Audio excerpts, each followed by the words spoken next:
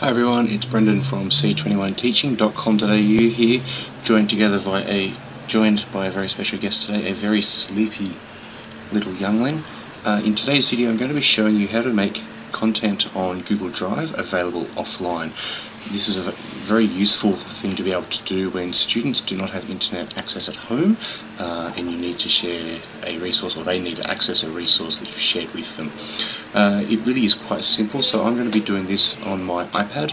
The way that you do this on other tablets is very very similar and it's also quite similar when you're on a computer as well. So all I need to do is come into my iPad find the resource that I want to make available offline. We're going to go with this information resources, uh, information reports PDF here. On the right hand side, the three dot icon, options icon, I tap that and a list of options comes up. We want to make this available offline, so all I need to do is tap that and you can see down here making it available offline is now available offline. So if I go ahead and turn my Wi-Fi off, which I've just done there, that will now open offline.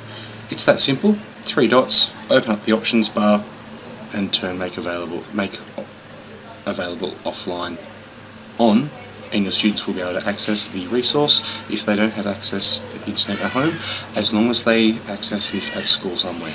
Thanks very much for watching and for more helpful videos like this head over to c21teaching.com.au. Thank you.